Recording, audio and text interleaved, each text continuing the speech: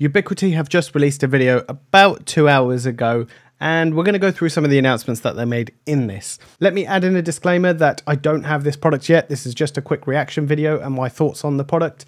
If you want to see a full video on this, when I get it, I will link it down in the comments below so you can go ahead and check it out. So the first one was the Alarm Manager, which I covered in another video and I've showed you the quick demos and how that works. So if you want to check that out, the playlist is down in the description so you can check that out. The next one was around the Pro AV. So we know with their recent release that they've allowed Pro AV in terms of their network management to give the QoS capability within there. We didn't expect UniFi Play. So let's check this out. Becoming the newest member of the SDVoE Alliance, we've added new specific low latency software optimizations for ProMax switching and with predefined port profiles.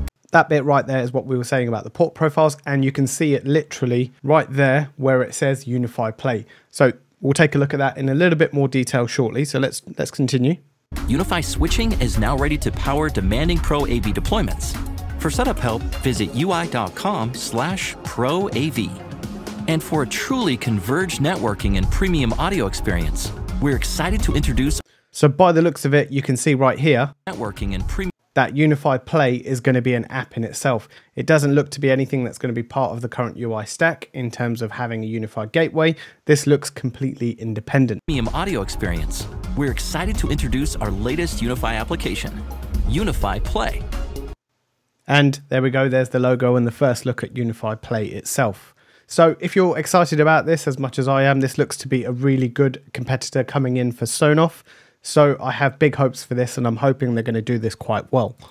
featuring a meticulously crafted, insanely powerful amplifier.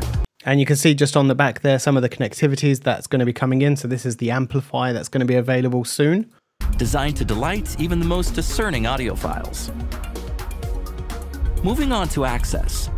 Protect shortcuts have expanded to And the support instant door unlocking overlaid And the final part was the overlay of the shortcuts that I showed you again in a previous video. There's a link down in the description if you want to check that out and see how that works. But this allows you basically to put shortcuts on an existing camera and this works within Protect or Access. We've added the ISP viewer, which automatically detects your internet service providers and consolidates them for powerful uptime and latency analysis.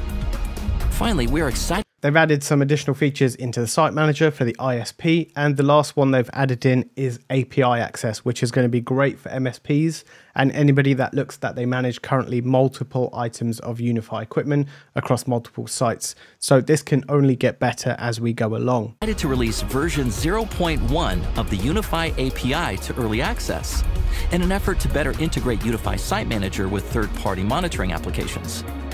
Have something in particular you want us to add? Drop us a line in the API page. We're headed back to the lab. That is a really good feature right there that's going to be coming with this, which is the API. It is currently in early access, so do keep that one in mind if you're going to start playing around with it. The next thing I wanted to take a look at is premium audio networking and converge, which is their tagline that they're using. So this is UniFi Play, and this seems to be the app. So it seems to be a quick Bluetooth setup. You select what you want once it's all connected. There we go. That's ready to go. Full multi-zone audio for those that want to know.